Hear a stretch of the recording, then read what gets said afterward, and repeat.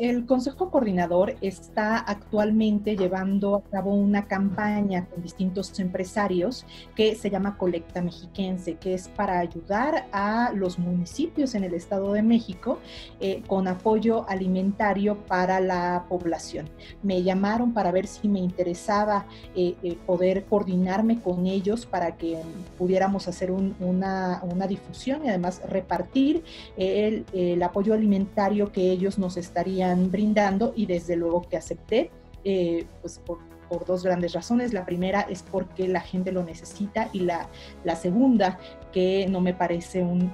un, tema menor, es por el agradecimiento a la confianza que tienen en su servidora para que yo pueda realizar estas labores. En esta, por el momento, fueron 52 eh, despensas y estas 52 despensas eh, van a ser eh, entregadas, de hecho ya están siendo entregadas, em, tratando de coordinarnos con las labores que ya ha estado realizando el ayuntamiento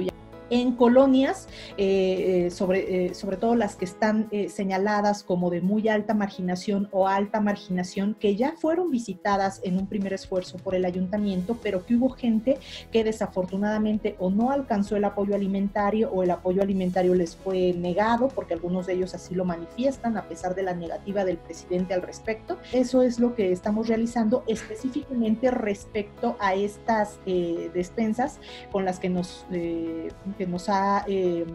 apoyado el Consejo Coordinador Empresarial. Y eso es independiente al apoyo que su servidora en lo personal ha estado realizando eh, este, con, con, entrega también de apoyo alimentario a solicitud de cada una de las familias. Actualmente llevamos ya aproximadamente 450 despensas entregadas. Eh, tratamos de, de, realizarlas lo más completas posibles. Eh, es gente que a nivel personal, familias que necesitan ese apoyo y te piden una despensa para su hogar. Entonces, eh, eh, a esas son a las personas a las que nosotros estamos atendiendo, a las personas que a veces no tienen la posibilidad de entrar a algún tipo de lista o, muchas de ellas eh, no conocen ni siquiera quiénes son sus delegados o quiénes son sus copasis o, este, este tipo de, figuras, entonces terminan siendo excluidas cuando también lo necesitan. Entonces vamos a continuar con la entrega de apoyos alimentarios, pero reitero que esta entrega es personal, es a las familias que así lo soliciten y el requisito es que de verdad lo necesiten, que de verdad estén en este momento en una situación em, por la cual pues se ven en la necesidad de tocar esta, esta puerta